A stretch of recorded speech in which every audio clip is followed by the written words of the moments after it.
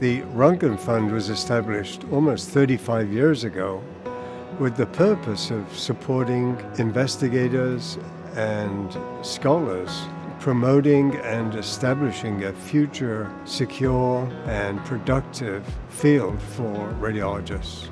The Roentgen Fund is a beacon of light, and the Roentgen Fund has an incredible importance in the life of radiologists, early career, mid-career, late in their career, because it allows us to participate and promote the specialty of radiology.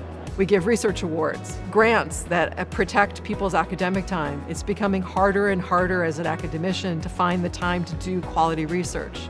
Without the research and other important activities supported by the portfolio of programs the Roentgen Fund puts together, staying relevant would be nearly impossible for our specialty. I thank the Roentgen Fund. I'm delighted to contribute to the Roentgen Fund because it provides a spark for young radiologists' careers.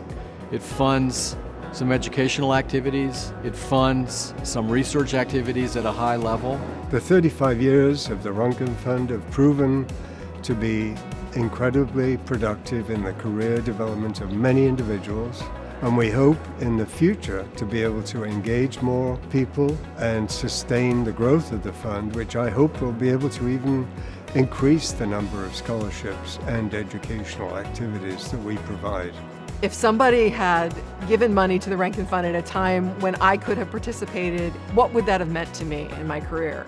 So take that feeling and say, okay, this is what I want somebody else to feel because I can do that for them. The amount doesn't matter. It's the fact that you're considering doing it and then doing it. And doing for other people actually really does make you feel happy.